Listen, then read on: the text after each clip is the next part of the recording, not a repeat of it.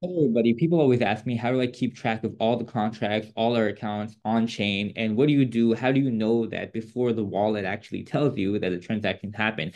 How do you know it's already happened? And we're all Telegram native people on uh, crypto. A lot of us even use Telegram wallets with things like Hot Wallet and Drop Wallet and Sender and Meteor wallets coming out with the wallet. So we're accustomed to Telegram as the place for our crypto transactions.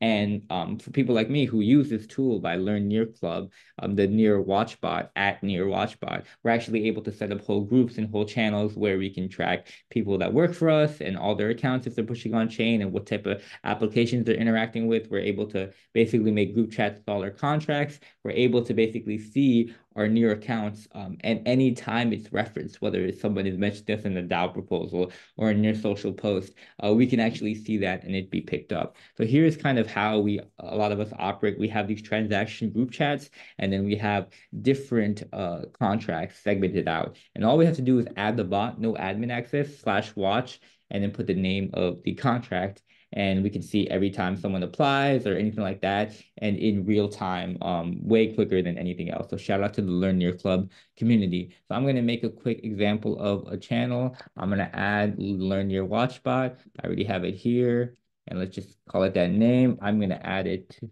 to this kind of new account. It's going to watch. It's going to say it's made for tracking and then i'm actually going to make a transaction by donating to it um on here on Potlock.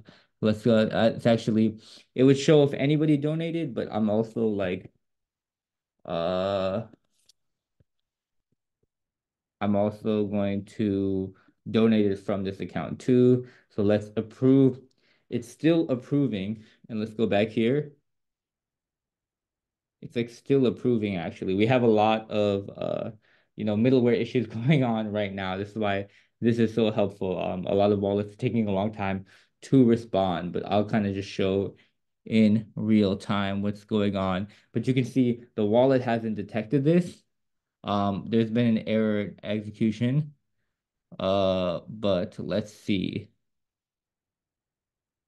Let's see if we check this transaction.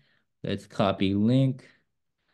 Um, and again, this this really helps a lot with things. If you go to PikeSpeak, it gives you a PikeSpeak. You can actually see that the donation happened. Um, although the wallet is saying it's an error. Um, so a lot of times when we have these issues, we use it and it actually comes back quicker response uh, to there. So that's a quick uh, thing that's going on.